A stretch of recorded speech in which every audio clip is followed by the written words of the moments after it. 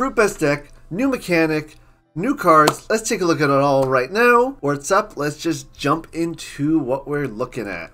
So we're going to jump straight into basically reveals in order of release, starting with Smoky, a 3-2 for 1 fire. When you special cast this Smoky, you can draw two cards. That's awesome. How are you special casting this Smoky out without Rise from the Ashes? Basically, we have Exalt Flare, and the next card we're going to look at. So before we look at it, we're just going to talk about Smoky and special cast triggers here. There's nothing that floats into this. There's nothing that really gets it out of the deck. So it's got to be in your hand, first and foremost, to special cast it, or you can rise from the ashes it. Paying 4 to draw 2, we already know is not a good enough rate when Nog has paid 2 draw 2, and it's a 2 card combo. So I don't see it being there. However, this is likely going to be an extender in a 2 drop focused fire deck. Why is it an extender in a 2 drop focused fire deck? And that's going to be because of Caperfume. So Caperfume's a 5-4 for 2 fire. This Caperfume gets 2 attack for every fire Elestral on the field. It includes itself, so it's basically a 7 attack if it's correctly enchanted. You can expend fire in order to special cast a 1 spirit fire Elestral from your hand. So this is what you're going to use to special cast Smoky. Your other targets or cards you want to special cast with Caperfume, there's not a ton of them. I mean, you can use Netcraft to go wider, uh, Kinleo, but you're still going to want to bank to get Kinleo to Nexus with. So Caperfume might enable a few things. And the reason I say is Smoky's kind of an extender here because Caperfume is going to pretty much empty your hand really fast. And you're not, and if you're just dumping Elestrals into play, then you don't have runes. So Smoky is an option to kind of dump cards into play and get refueled from Caperfume effect. So there's some nice synergy there. You could also potentially Exalt Flare Caperfume or Smoky out. Like if you have Exalt Flare, Caperfume, Smoky, and like Hephaestus in your hand, well now you can go Exalt Flare, Special Caperfume, Special Smoky off Caperfume, draw a bunch of cards, and kind of refill your hand from that combo. I don't know how good this is going to be. I mean, you can negate the ability still. It's got okay attack stats, but if you suppress its attack stat, it's just a 5 attacker. I don't see this being super good. It's a super cool card, and I can see a lot of places where you can kind of go fire wide with this if you can get into play. It's kind of like Gigaflora, where it's threatening because it's going to churn out a bunch of stuff, but it's not as... It's pros to Gigaflora, you can do it the turn it comes into play. Cons, it's not free. So you can... This really kind of and it's also from hand. So it kind of gives Fire more aggressive wide options in a two drop slot. Fire needs good two drops to go with Exalt Flare. And this I think is good enough two drop. I just don't know how good that strategy is going to be for Fire because it does get costly expending spirits to special cast one drops. And not only does it get costly on your spirits, it can get really costly on your cards in hand you're just going to drop like three or four cards and then all of a sudden you comboed off but you have nothing in your hand to keep going unless you drew the Smoky and Nogs and then you're burning yourself. I think it's just a little too expensive to really pop off, but cool cards nonetheless. I think Smoky is a card that also in the future might get really good if we have something that can float into it or oh, more ways to special cast fire one drops. Moving on, Poison Nectar. One cost counter. This poison nectar can only be cast when an opponent activates a card effect that draws a card. Negate that effect and destroy that card. Big thing to first note here this does not hit Astrabbit. Astrabbit does not draw cards, it adds cards to your hand from the deck. Nuance, yes, but Astrabbit is basically a, a, search card, not a draw card, so this doesn't affect Rummagem, Astrabbit, and the likes of those. It does affect things like Smoky, like Drataya is probably the biggest hit for this card. Nectar of the Gods, I mean, it's Poison Nectar right there, right? Cards that draw, right?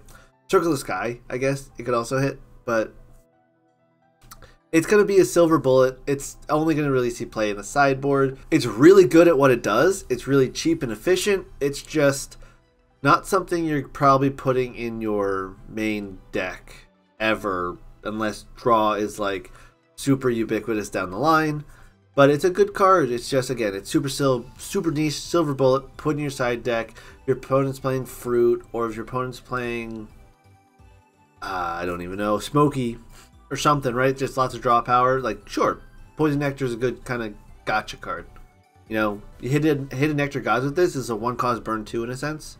Um, Good card. Not going to see a ton of play main deck. Might see some play here and there in the sideboard. Tadflow, a 1-1 for 1 Frost. You can expend 1 Frost in order to special send this Tadflow to an Elestral with enchantment cost 1 or 2 from your hand. This is really interesting. So it's kind of like Tadpuff, except you have to put it into play first, and then use its ability. Which, okay, Tadpuff's already doing that anyway, but it also locks it to Frost. So it's worse than Tadpuff. However, Frost has more ways to take advantage of this. Perhaps you go Tadflow, special cast something from your hand, and Frostix Tadflow back into play, do it again, Keone and Frostix back to your hand, and Frostix Tadflow, do it again. So I think this is another kind of enabler in that like Frost super go wide strategy with little things, or a way to kind of make maybe a Frost two cost combo deck work where you can get a bunch of two costs into play really quickly with M Frostix and Kione. It's a weird combo extender tool. I don't know how relevant it's going to be. We need to see more Frost 2 drops that are worth playing outside of Iwilly. I don't even know if Iwilly is worth playing. And if you're using this for one cost, yeah, you're basically tad puffing out one cost. But then to reuse it in an Enfrostix combo is kind of clunky and slow. Uh, I don't know. It, if it sees play, it's going to be some kind of weird combo or like enabler. We'll see what happens as it goes on. I don't see it seeing a ton of play though. Moving on, Permafrog. Two costs Frost, 1 3. Really low stats for 2 drop. However, Elestrals cannot attack unless they are Frost enchanted or Fire enchanted. During your opponent's end phase, you must either expend Frost or destroy this Permafrog. I think this card reads crazy, and when you look at future decks, we're going to have 8 elements, not 6. So it hits 75% of decks in theory, but a lot of people splash spirits from other cards, so if it's worth splashing a frost or fire card, then you're always going to have those spirits available to deal with permafrog, and permafrog effectively does nothing if you're not if you're going up as a deck that basically is frost or fire viable. So, I think this is a sideboard all Star where you go, okay, my I saw my opponent's Spirit deck, they had no Frost or Fire.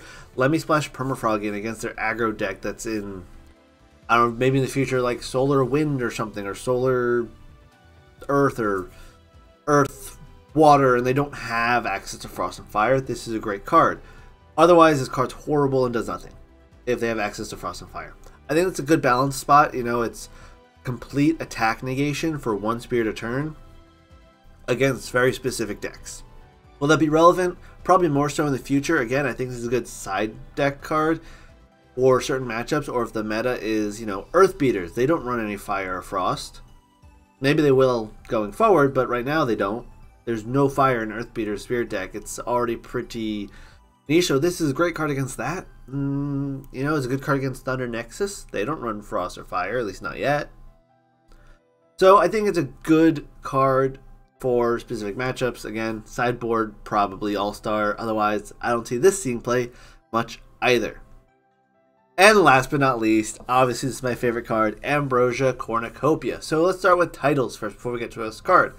This card's name is Ambrosia, but since it has a title, you can run both the original Ambrosia times 3 and this times 3 for a total of 6 Ambrosia in your deck, as long as you have 3 of this one and 3 of the existing Ambrosia.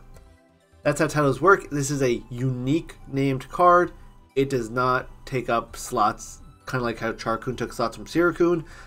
This does not take slots from Ambrosia. You can run both in your deck, and you're going to want to run both in your deck with this card because it's a 2 cost Invoke Rune for Earth. Draw a card, then return any number of spirits from your Underworld to your Spirit deck to the number of Ambrosia in your Underworld. So if you have no Ambrosia in your Underworld when you cast this, you'll just cycle a card, you'll draw one because it doesn't count itself as resolution, it's not in the underworld yet. Then if you have two ambrosia, it's a draw one, refund one. So it's a one cost drawn one. If you have three ambrosia in your underworld, it'll refund it. It'll give one spirit and draw a card. So this card is honestly kind of bad. At face value, most cases when you're playing it, it's going to be a two cost draw one. Maybe a one cost draw one. You're going to have to play this in a fruit deck to get full value out of it because I don't see it being viable in other decks. I think it's because you need to either draw the other Ambrosia first or get some other advantage out of this card to play it correctly. So either you have Drataya in play and this is a 2 cost draw 3, sounds great. Lotagon in play, this is Earthquake that cycles itself. Uh, Lotagon to play and 2 Ambrosias in your Underworld, it's a free Earthquake that cycles itself. So it's a really good card in Fruit. Outside of Fruit, where if you're just running this and 3 Ambrosias as like a heal package, I don't think it's good enough. It's going to be a dead card in your hand until you get the other Ambrosias going or find ways to just pitch these into your underworld. So, good card in fruit. I think it's going to make fruit way better. I think it's going to be allowing fruit to cut back on the apples to maybe one or two because you'd rather just run these over apples because it cycles itself, gets you some recovery late game as well. Best case scenario, this is a basically recover three, draw two because you're recovering five and it's uh, spirit fixing in a late game scenario at that point as well. You could potentially play like a super defensive counter rune deck with this, where you play like Drataya this, and you're cycling through to just get a bunch of counter runes in play to control the board that way and removal cards and stuff. A lot of things you can do with it, but you need to have at least Drataya in your deck to make this work. And I think that's a great design. Like, uh, I know I designed some cards for Frostfall, and I did a video about that. I did not design this card, uh, this was pitched by somebody else, and Dan loved it. And yeah, here it is. And it was not me. I promise. I didn't make this card. I wish I did. uh, but yeah, great card, awesome. And uh, that's going to be about it for today. That's all the spoilers I have. We're going to move on to other spoilers later this week. And then I'm going on vacation, so I may not have a video out for a little bit. We'll see. I'll talk to you guys later. Like, subscribe, etc. And I'll see you guys in the next one.